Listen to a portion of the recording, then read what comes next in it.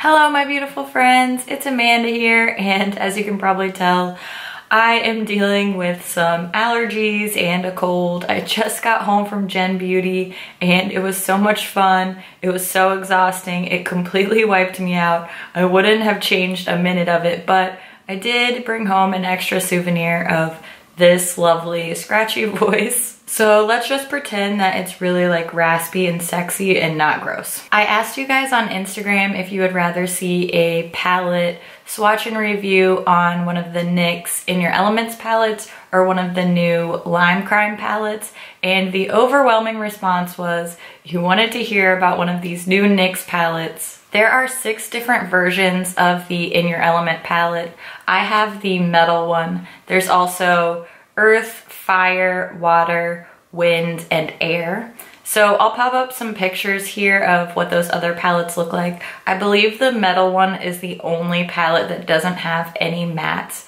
So I did pull in two extra matte shades to create my eye look today. And this eyeshadow is giving me serious mermaid vibes. So if you wanna see how I got this look using this NYX metal palette, just stick around to the end of the video and I'll do a quick tutorial. These palettes are quite expensive as far as NYX goes. I think that they've been really upping their quality and we've been seeing the price go along up with that. This palette does retail for $29.99. However, right now it is on sale at Ulta for $20.99.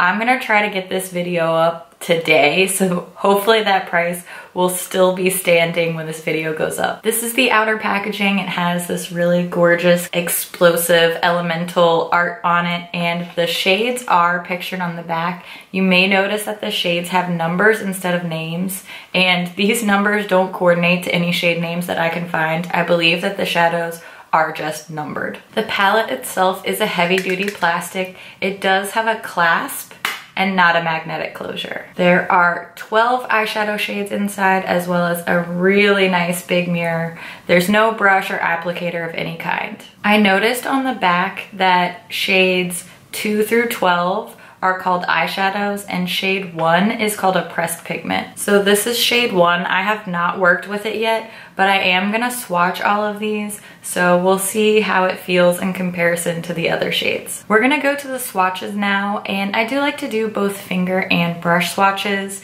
when I swatch a palette. However, today I'm gonna do things just a little bit differently to kind of cater to this particular palette.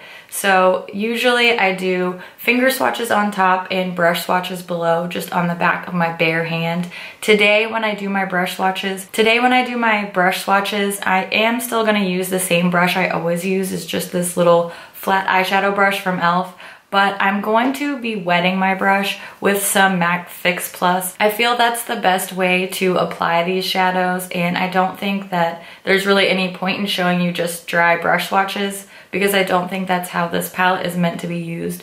So we're still gonna do finger and brush swatches, finger swatches on top and brush swatches below, but all the brush swatches will be with a brush wet with MAC Fix Plus. This is the top row of the palette, shades one, two, three, and four with the finger swatches on top and the damp brush swatches below. I think that these look pretty much exactly the same when applied with a finger and when applied with a damp brush. I do experience a little bit less fallout if I use a dampened brush compared to when I use my finger to apply. And I do think that these look maybe a little bit smoother. I don't know if you can tell on camera, but the shadows just look a little smoother, a little flatter, and these tend to look, I don't know, more glittery. Not chunky is not the word, but these just look slightly smoother in person. Here we have the middle row from the palette, shades five, six, seven, and eight. And I think that shade number five is really, really special. It's kind of hard to tell on the back of my hand on camera, but this appears to be a really light shimmery pink in the pan. And in person, it has this really, really beautiful green duochrome shift. I think this is one of the most special shades in the palette, which is saying something because there's a lot of gorgeous, shimmery, magical shades in here. And I think this is one of the standouts. This gunmetal shade, I'm sure you can tell it looks a lot brighter and bluer when applied with a damp brush.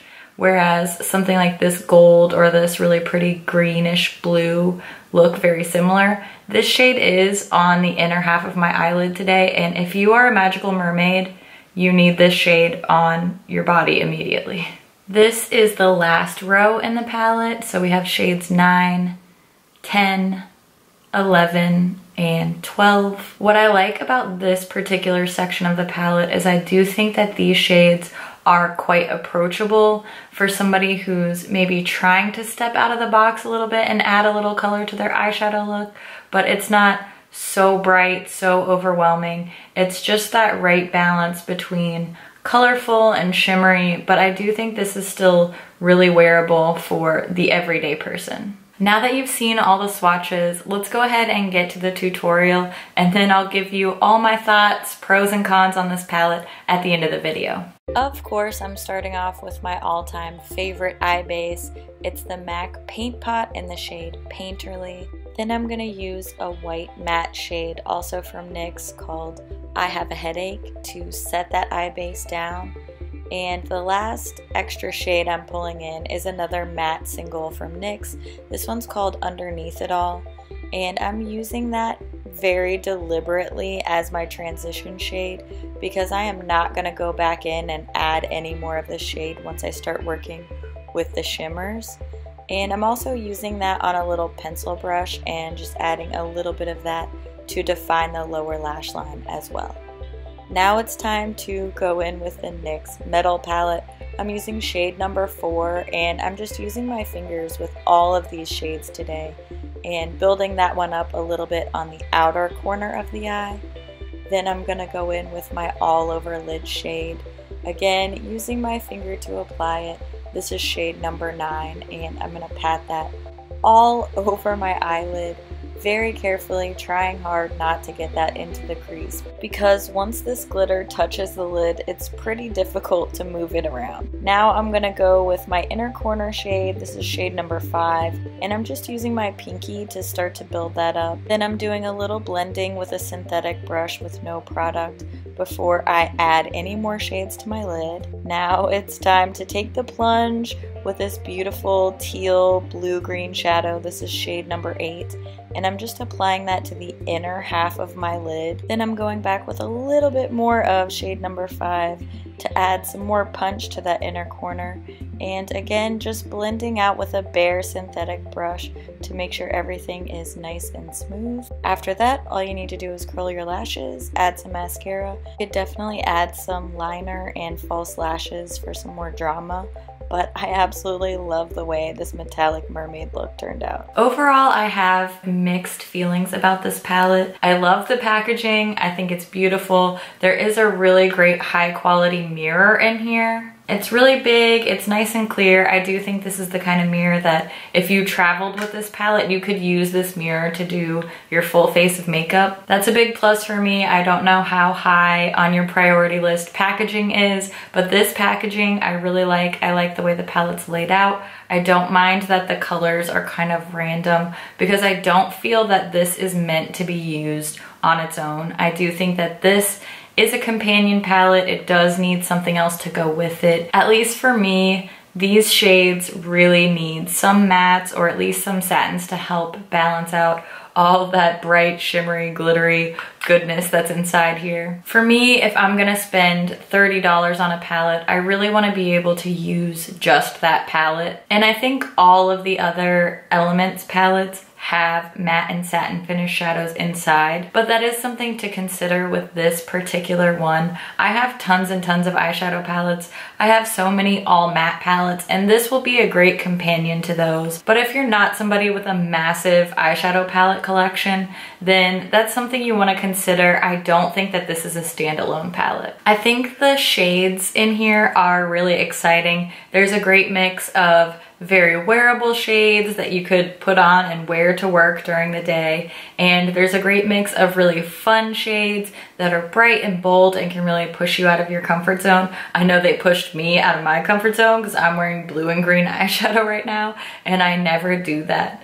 But I really love the way that these shadows look. I think that all of these shadows feel and perform a lot like pressed pigments. So in my opinion, the best way to use these is to apply them either with your finger or with a damp brush. I found that these shadows applied beautifully with both of those application methods. While I don't think that these are the easiest eyeshadows in the world to work with, I do think this is something that can be pretty approachable if you are kind of an intermediate eyeshadow user like myself. I'm not a makeup artist, I'm not an expert, but I have used my fair share of eyeshadows and I did find these quite easy to work with. You just wanna take your time and make sure that you're applying them precisely where you want them. While they do apply beautifully and they look beautiful on the lid, they're not really the easiest thing in the world to blend out and kind of erase any mistakes that you might make. As long as you take your time with these, I do think you're gonna find them to be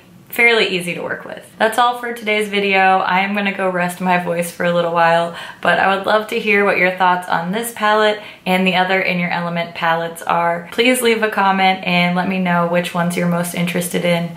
As always, thank you so much for watching and I'll see you in my next video. Bye.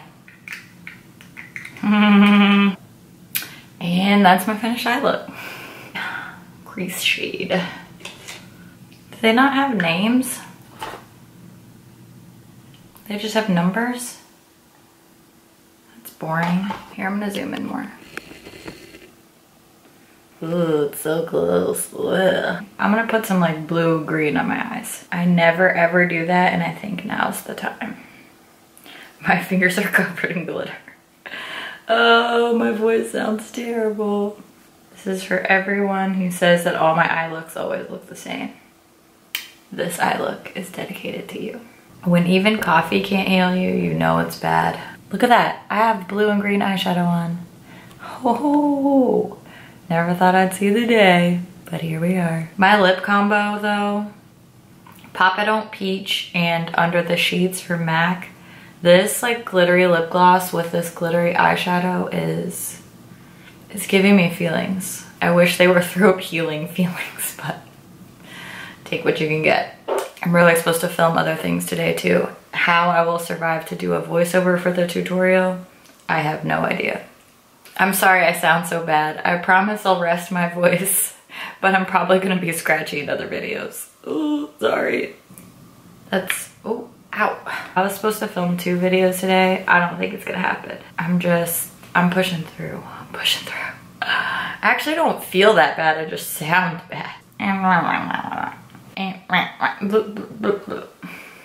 Okay, I'm gonna go edit this whole video now. Bye-bye. Bye-bye now.